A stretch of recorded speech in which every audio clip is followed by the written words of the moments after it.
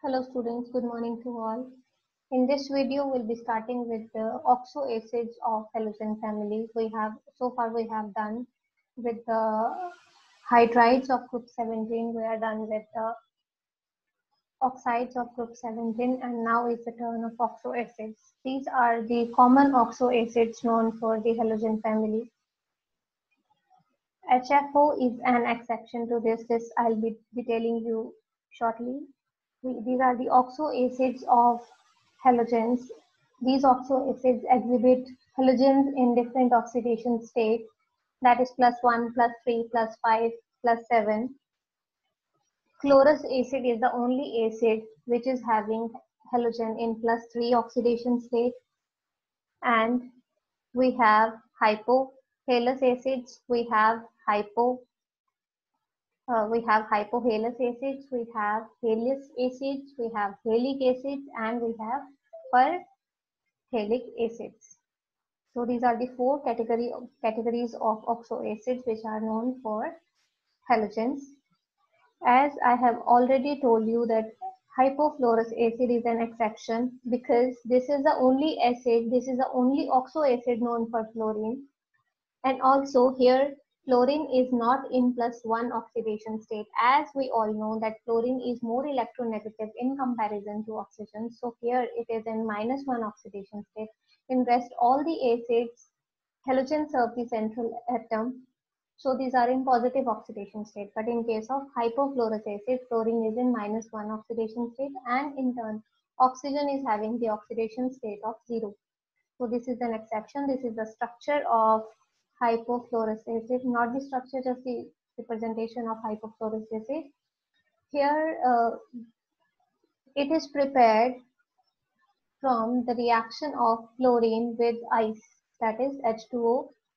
From here, we'll get HOF, that is hypofluorous acid, in as a white solid which melts at minus 117 degrees Celsius to a pale yellow liquid. In addition to that, HF is also formed in that reaction.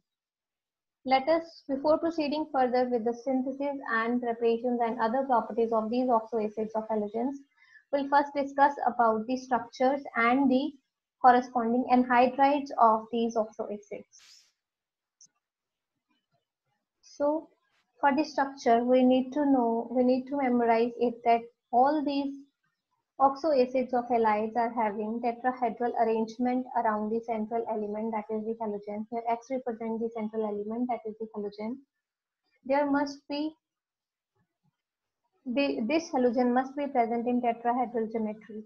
With geometry, I mean that it is having total number of bond pairs plus lone pairs that is that cannot exceed 4 sum total of bond pairs and lone pairs around X should be less should be equal to 4. That is why it is having tetrahedral geometry. Shape can be any because shape is dependent upon the number of bond pairs only. So shape will vary and all are having basicity of 1 because there is only one hydrogen present with all the oxo acids of halogen as we can see here and that hydrogen is not at all directly bonded to the central element as it is an oxo acid so it must be bonded to oxygen. That is it is present in the form of hydroxyl. That is why it is ionizable proton.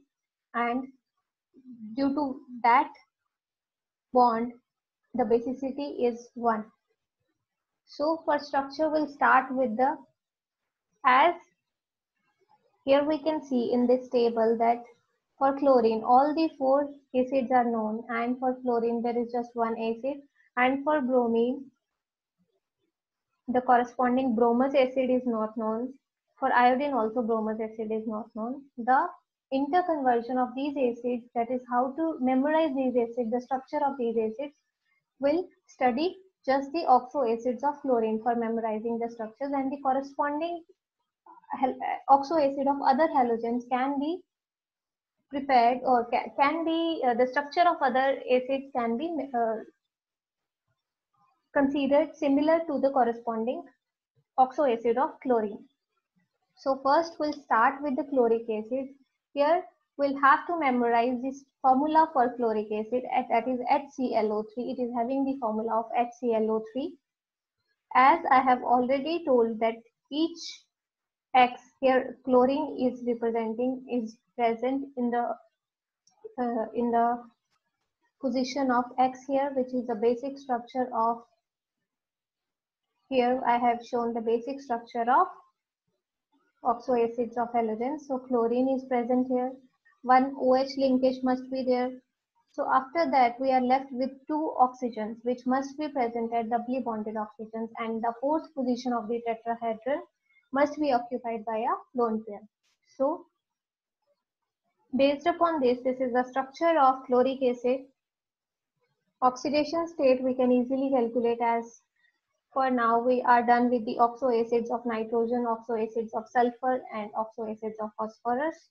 So oxidation state, we all know how to calculate, calculate it. It is it comes out to be plus 5. Basicity, we have already discussed that it is going to be 1 for all the acids. Basicity is not related with the acidic strength. This is the important point. If you are asked about the acidic strength, that I'll be telling you in the end of this video that how to compare the acidic strength of different oxo acids. That thing I have not discussed so far in the discussion of the oxo acids of group 15, 16 elements we have discussed. We have discussed each aspect except for the acidic strength, comparative acidic strength of oxo acids that we'll be discussing in this video.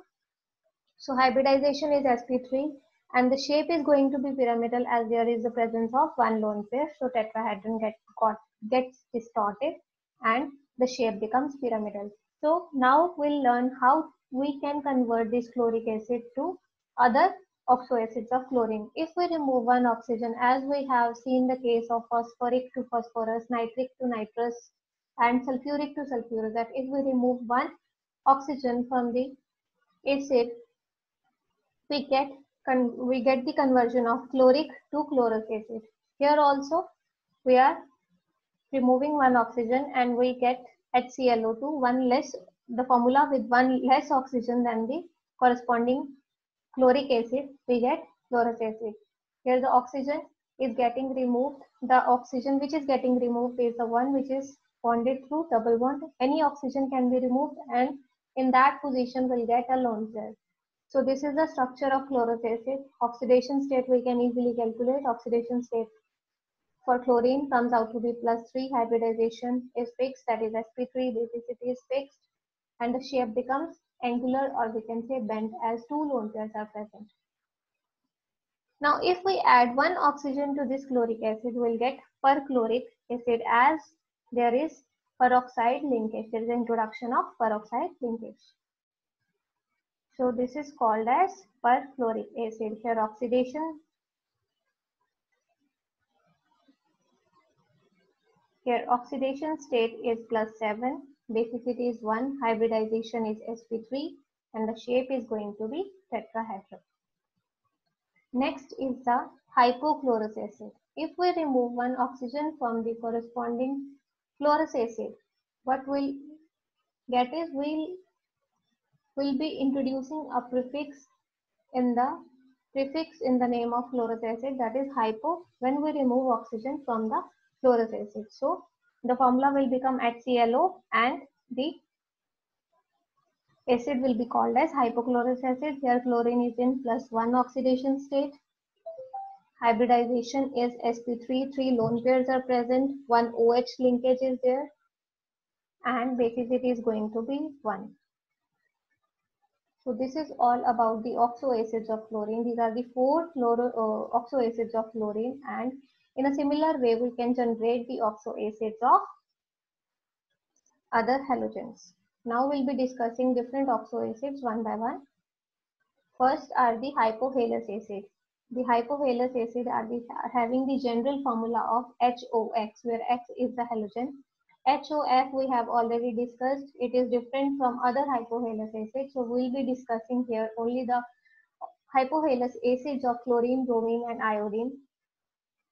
All these acids can be prepared by the reaction of freshly prepared mercuric oxide with halogen in the presence of water and we get the corresponding hypohalous acid.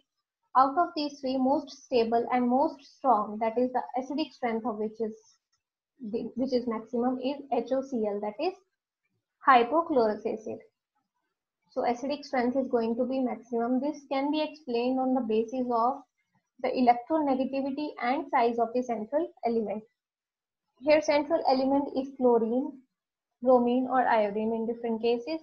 So uh, if it is having, it is most electronegative in comparison to bromine and iodine.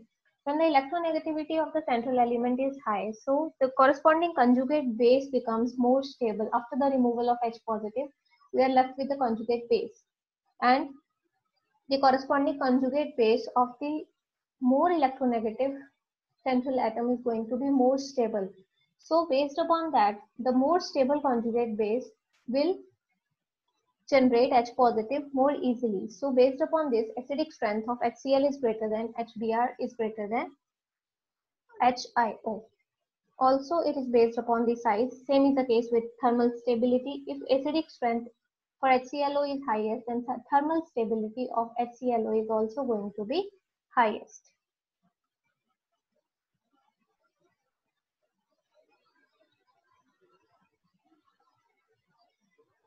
Now coming to the salts, salts of the hypohalous acids are called as hypohalites. Solution of hypohalites can be made by disproportionation of the halogens in cold alkaline solutions.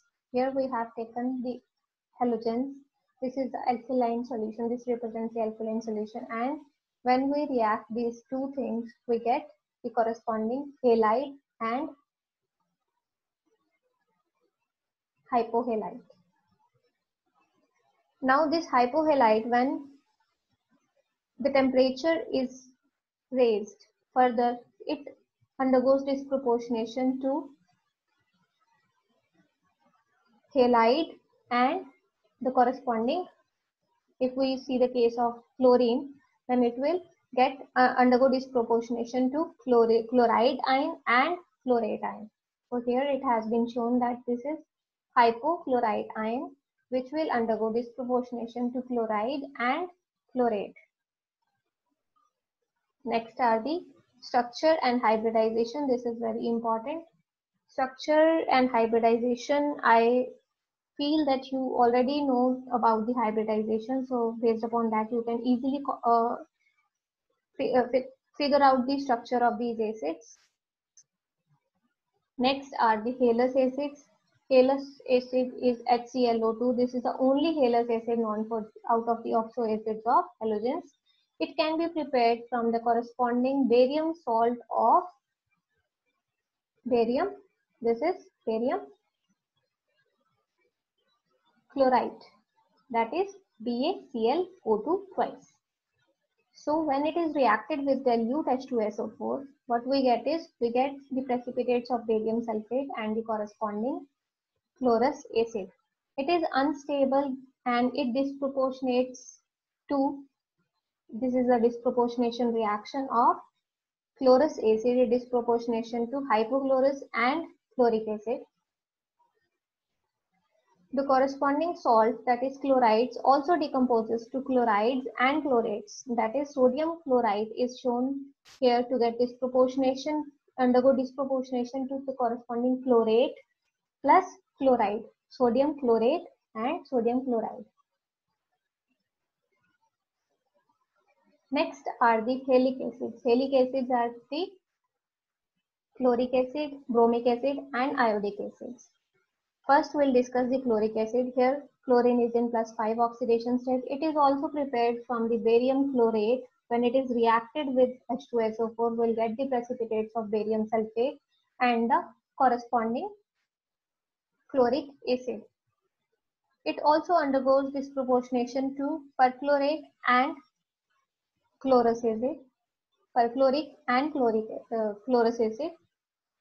It is also used as powerful oxidizing and bleaching agent. It decomposes to give chloride and oxygen and at high temperature it generally undergo this, uh, its salts undergo uh, decomposition to chlorides and oxygen and at high temperature it disproportionates to the corresponding perchlorate and chloride. Next acid to be discussed is we are just discussing the mostly we are discussing the preparations of these oxo acids and the how to get the corresponding anhydride. That is important for these oxo acids their structures their oxidation states their hybridization the structure based upon the hybridization geometry shape so these are the things which are important and the preparation. So the, this that is bromic acid is prepared from the barium salt. When it is reacted with H2SO4 we get bromic acid. It is also used as an oxidizing agent. It can easily convert H2S to sulfur and SO2 to H2SO4 next are the iodic acids. The preparation of iodic acid is different from other halic acids. It is prepared by the reaction of iodine with HNO3 where we get iodic acid as a product. Iodic acid when heated gives us I2O5 which is we can say anhydride of iodic acid. It is a very good oxidizing agent and when it is reacted with H2O2 what happens is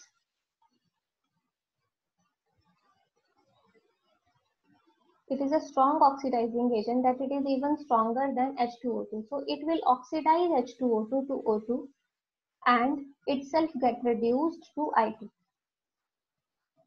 So this is the oxidizing, oxidizing reaction of the iodic acid with H2O2. H2O2 is a very good oxidizing agent as we all know, but this iodic acid per uh, iodic acid is stronger ox oxidizing agent than H2O2 so it can oxidize H2O2 to iodine oh sorry to oxygen and itself get reduced to iodine and when iodine is further reacted with H2O2 that is it uh, it again gets converted to iodic acid that now iodine gets oxidized with the help of H2O2 as H2O2 can oxidize I2 to iodic acid so this has been shown here. It decomposes this, its, cor its corresponding salt of iodic acid, that is, it is potassium salt of iodic acid. It decomposes to give the corresponding disproportionation reaction to iodate and iodide, iodide ion. Next are the perhalic acids with the formula of HClO4 these are called as perhalic acid. Sorry, HXO4 are called as perhalic acid. It is HClO4. It is perchloric acid.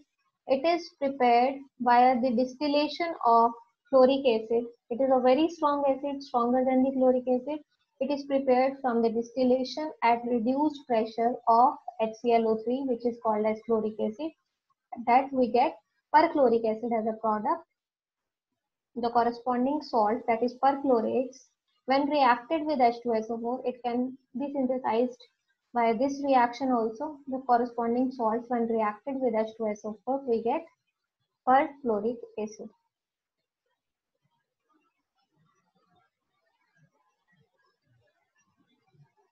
Now coming to the properties.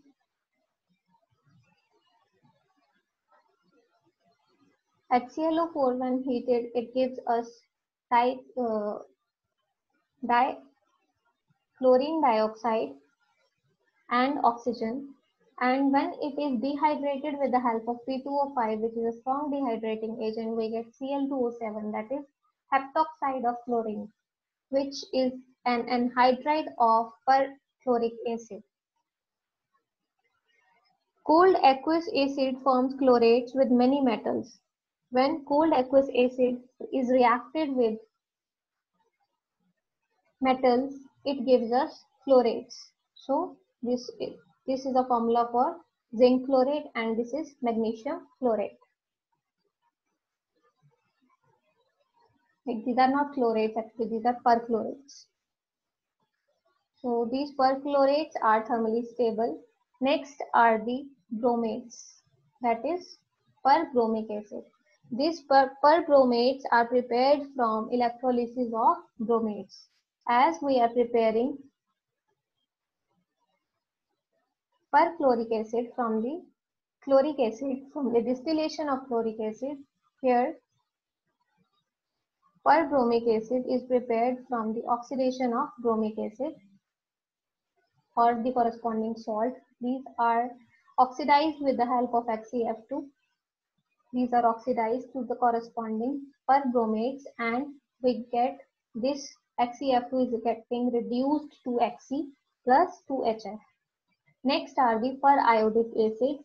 There are four series of periodic acid and corresponding salts are known four series of periodic acids are written here. These are metaperiodic acid, dimesoperiodic acid, mesoperiodic acid, and paraperiodic acid.